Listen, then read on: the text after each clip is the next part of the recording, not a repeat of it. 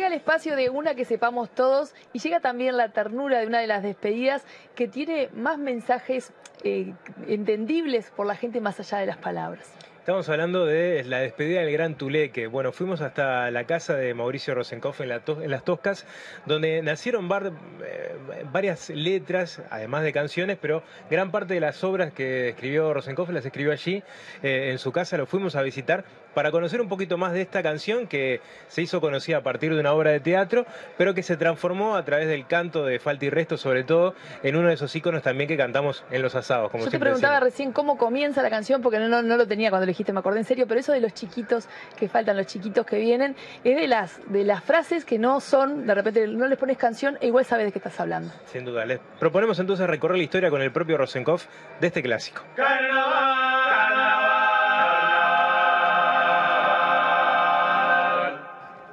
En el año 1987, con letra de Mauricio Rosenkopf y música de Jaime Ross, se estrena El regreso del Gran Tuleque, la obra teatral. Dentro de la misma había una despedida muy tradicional con estilo murguero que se transformó en un clásico de los asados y de las cantarolas de los domingos. Vinimos hasta las Toscas, hasta la casa de Mauricio Rosenkopf, para conocer su historia. Somos laburantes enamorados que vienen a buscar la colombina.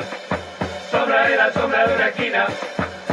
Bueno, Mauricio, estamos en Las Toscas. Contame un poquito de, eh, tu casa, porque acá se, compuso gran parte de tu repertorio. Como de, repertorio? no, hace 65 años que existe el rancho este, ahora está mejorado porque era una casilla de Dolmení, pero es un rugal de recule, de mateada, de vinagre. este, bueno, acá hicimos yo muchas de las cosas las escribí acá. Este, pero además después que salimos a la cana con el nieto y la supervisión del Pepe, este, nos vinimos para acá 15 días y escribimos los tres tomos en memoria de calabozo. Y además acá hubo mucha reunión de delincuencia, ¿viste? Este, de, decirlo bajito y no lo saqué porque creo que es un gobierno. Y en particular con, esta, esta composición de la despedida de Gran Tuleque, este, ¿cuánto de esa historia tuvo que ver con esta casa? Y bueno, eso fue tecleado acá, todavía conservo la Remington, que cuando no escribís podés hacer musculación con ella, porque son como 8 kilos. Este, pero ahora adelanté mucho y tengo una este, Olivetti semi-oficina, que es mucho más liviana.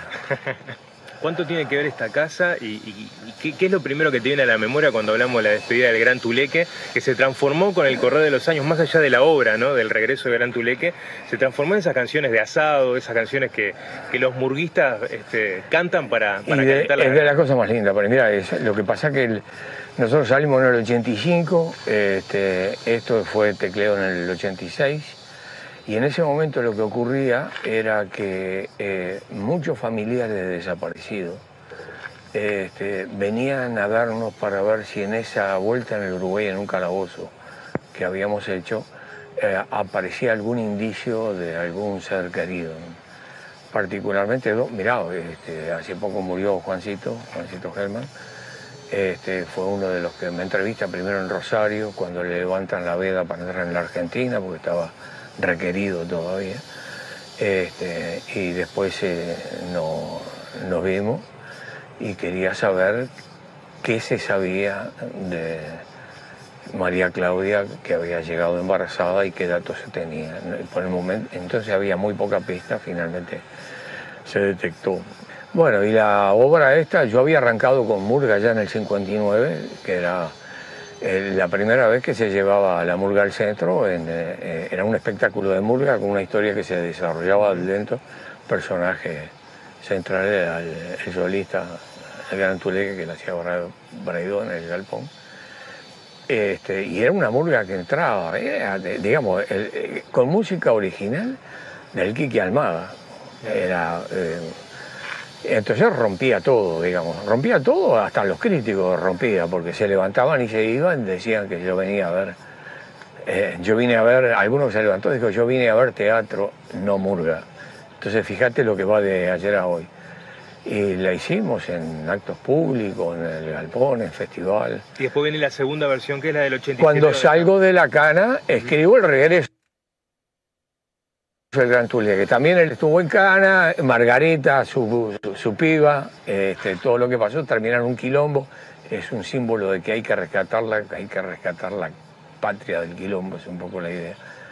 La Margarita vieja y Tuleque que recorre las calles en carretilla, entonces la rescata con Sacucho, que es un boxeandanga que quedó tocado, este, y ahí aparece una historia sumamente entrañable y es eh, que eh, sobre el final de la obra, bueno, desde un principio en contacto con Jaime, que nos habíamos conocido en, una revista haciendo cola para cobrar nuestras notas, mira vos, y de ahí nos, ahí conocieron. Ahí nos conocimos. Y este arma la, música justamente toda, para, toda, la canción. Toda la música de ella, de todas las canciones. Inclusive detecta que había tres, cuatro sonetos, poemas a la Margarita, y calcula que hay más, entonces después me habla y me pregunta. Y sí, lo tenía. Te propongo de entrar a Mauricio y me seguís contando la... Ah, si me invitaba a tu casa, bárbaro. Vamos, vamos a la regla. Dale.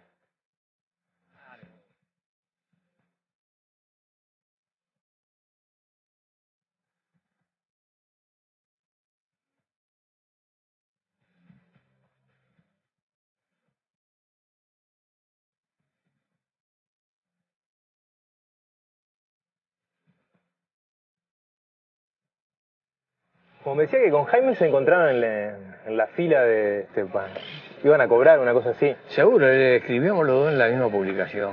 Y este, en esta de que era de, Maneco y que, era, que tenía Manolo después. Allá en el Palacio Díaz creo que fue. Y este, más o menos teníamos noticias uno del otro. y, este, y yo estaba ahí, me había este, entrado a trabajar, querían hacer alguna obra, otra obra con Murga y eso.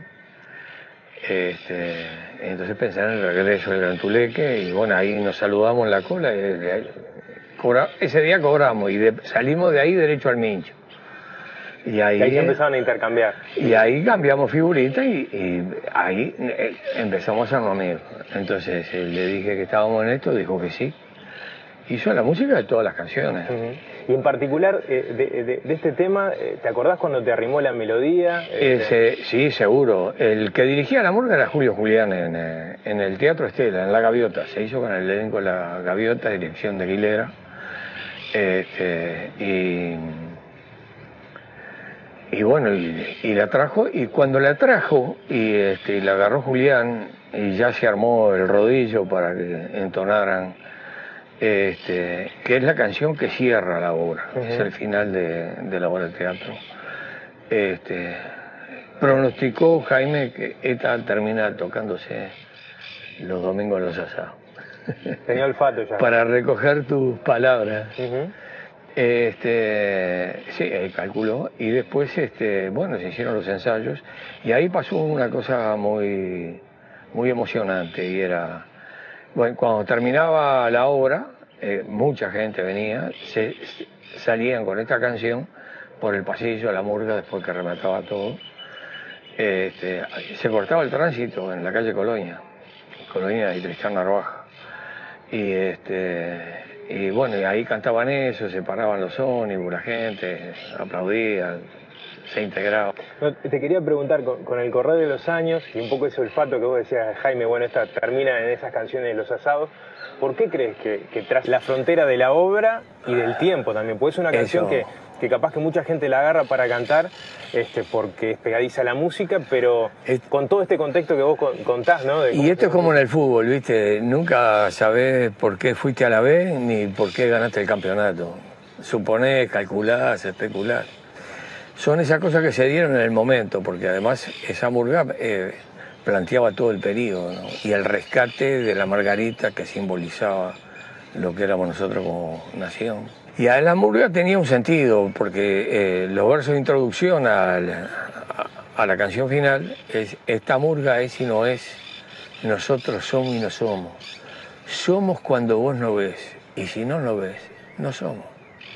Digamos, eso daba un poco el espíritu de lo que venía pasando. Y esa murga se convirtió en la canción. uno de los momentos más em, emocionantes que tuve eh, se convirtió en la canción de El voto verde, por la derogación de la ley de, impunidad. Y el acto final del voto verde se hizo en el Estadio Centenario, bueno, la que había agarrado después la, canción esta, que la tiene en su repertorio, fue Falta y Resto, el Flaco Raúl.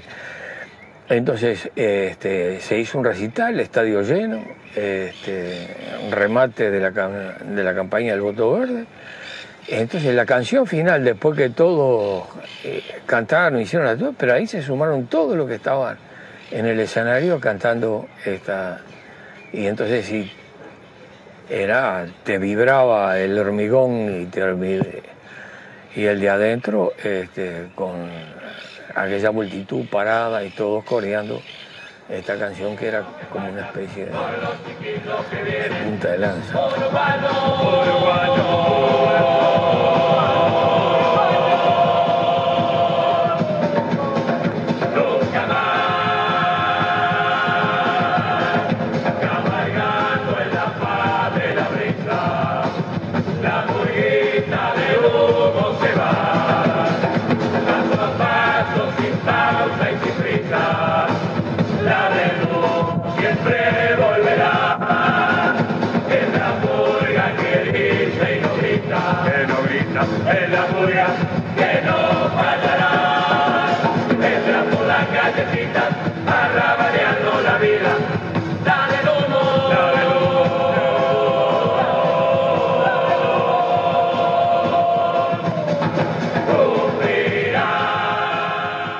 Que tiene un nombre del, año 59, yo que sé que había un cuadro de fútbol, El Misterio, y nunca supe eh, el origen, qué es lo que quiere decir.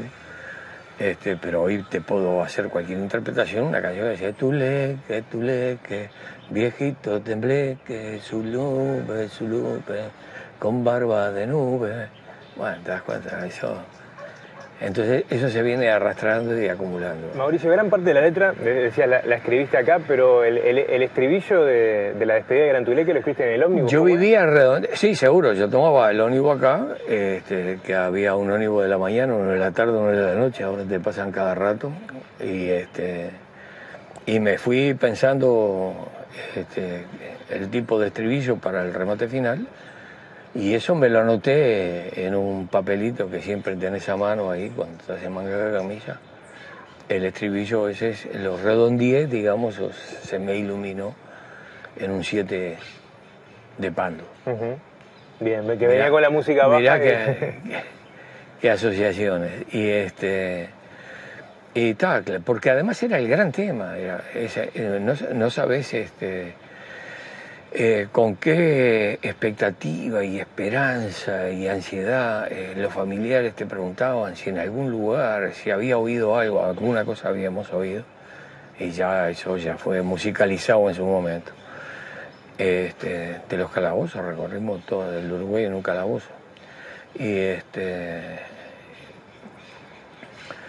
Y bueno, y por ahí saltó lo de bueno, saltaron cosas, este, pero ahora tiene que seguir saltando, porque se terminó revirtiendo aquel verso más triste de, esta noche que decía que este país no, eso los gobiernos de, la calle y Sanguinetti decían que acá no hubo desapariciones, que las desapariciones fueron en la Argentina. Y ahora sabemos el primero, el segundo, el tercero, el cuarto vuelo y no sabemos cuántos vuelos más, pero hay ya un lote de, de compañeros que estamos buscando en los cuarteles, que más o menos eh, hay pistas y ahí se encontró al maestro y eh, al padre de Javier. este, bueno, entonces en ese momento, claro, era el gran tema y además con el voto verde y todo eso. ¿Te, te acordás un pedacito de la letra como para cantarla? El Dios Momo te ha vuelto a soñar. Este. sí, me acuerdo. No, te la entro a cantar porque no quiero competir con la versión de Jaime. Entonces. Este, pero. Que hoy venimos al barrio a dejar farolitos de lindo color. Pa' que en casa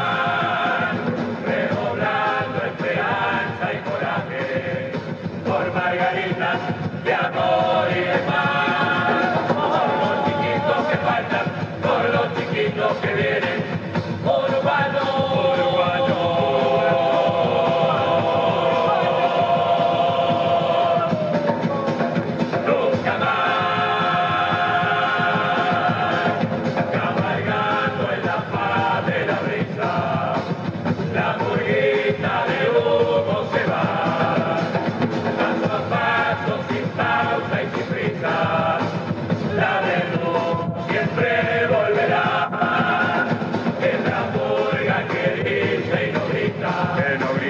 Hey,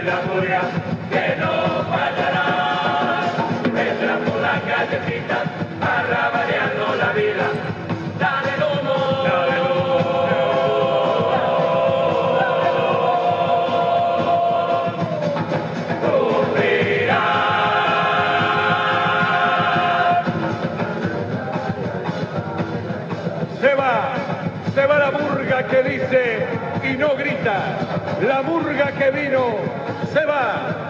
Esta murga por la margarita. Esta murga siempre volverá.